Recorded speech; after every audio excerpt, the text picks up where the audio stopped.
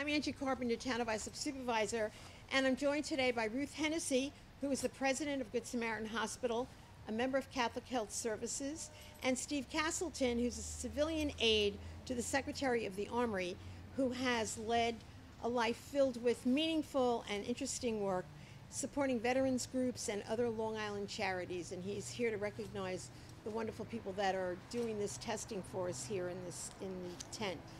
Back in November, actually November 18th, we kicked it off. We partnered with Good Samaritan Hospital and the Islip CDA, which provided the funding to open the COVID 19 test site right here in Brentwood, which has been an absolute hotbed of activity here.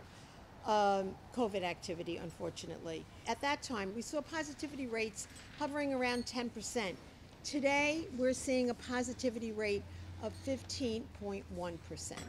So, what we have been saying all along and what we have been trying to communicate to the officials at state level, at the county level, that this community, I mean, you open up Newsday every day, I go right to look at Brentwood and CI and see the numbers, and they're consistently going up. When I did the calculations the other day, 25% of the entire number of cases in the entire county of Suffolk are in this very hamlet of Brentwood.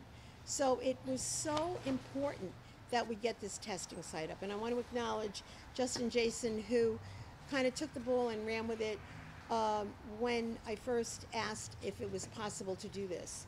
And it literally happened within a matter of days. Again, getting that funding from the CDA was crucial. The response to these percentages is, is enforcing or reinforcing our effort to continue this testing. We must continue to test to help identify the positive results.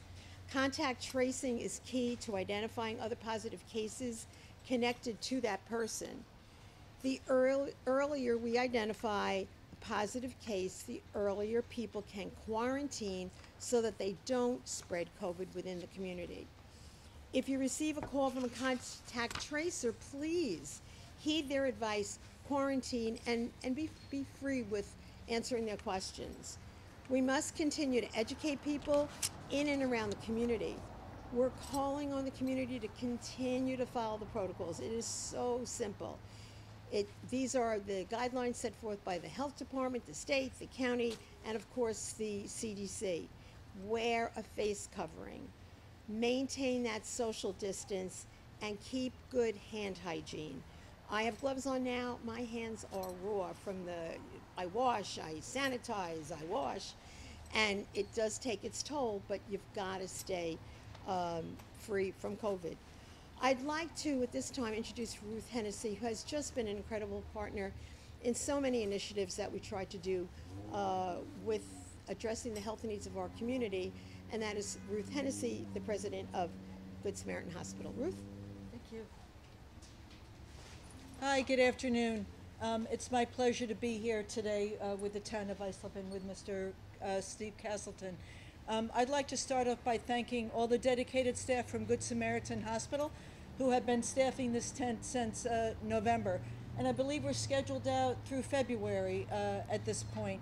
Um, we run the testing center three days a week from 1 to 5, and it's by appointment only.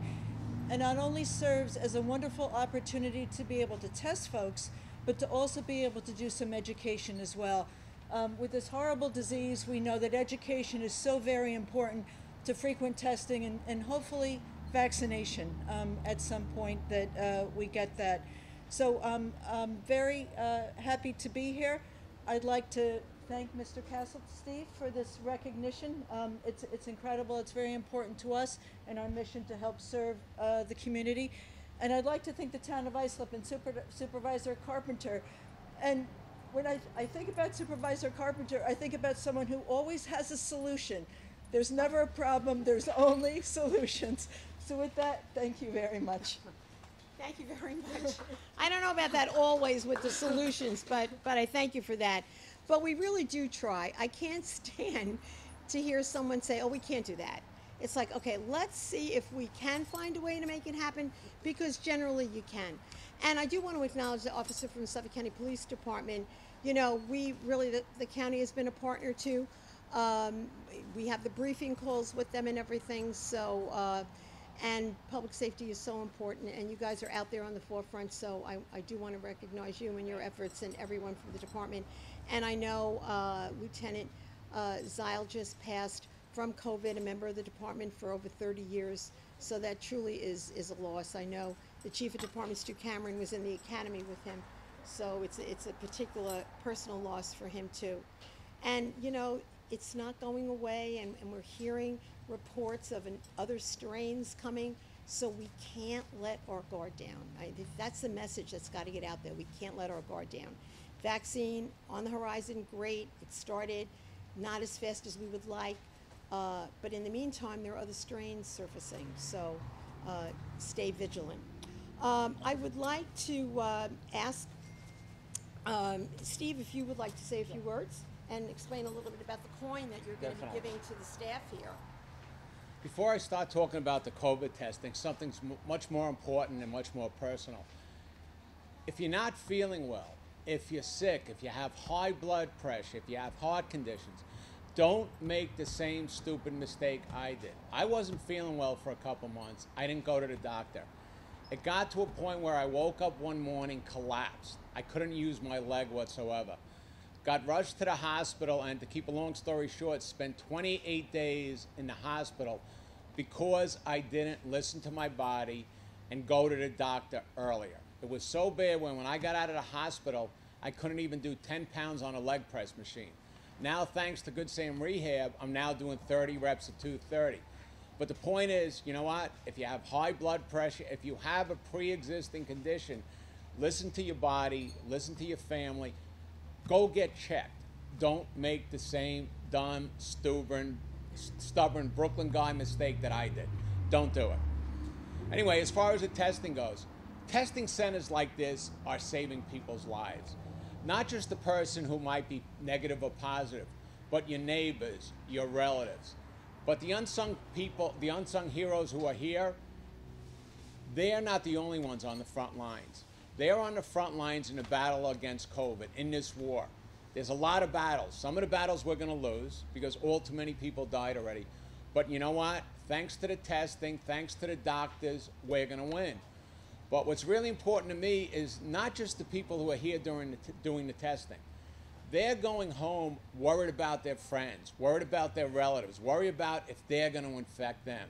They're coming here every day outside in the cold, in the rain, in the snow that we had a little bit before, and they're saving people's lives. Not just people they know, total strangers who they might never see again. People need to go out and trust their body and get tested. Because you have no symptoms doesn't mean you have you don't have COVID. Go and get tested because the life you save could be your relatives, could be your neighbors, could be a perfect stranger, could be somebody who finds the cure for cancer, could be the person who's the next president of the United States in 20, 30 years. Could be the person that finally gives the Mets a good batting order where they don't lose all their games anymore. You know, could be something like that. But getting back to the reason I'm here. In the military, back in uh, Vietnam War, they started challenge coins. Special Forces started that. And the whole purpose of a challenge coin, it's like a medal. When you receive a challenge coin, it's because you did something exceptional. It could be something where you saved somebody's life, where you saved a bunch of people's lives. So that's why I wanted to come here today. I called up Angie, and I wanted to present them all with one of my challenge coins again, a challenge coin is in the military. When you get one, it's something you save, something you keep on it. And when I was in the hospital during those first 10 days, there was somebody who got me up out of bed to go to the bathroom, keep me from losing my mind. And it was tough, and people forget about people like that. Donna, come here. Come on, Donna.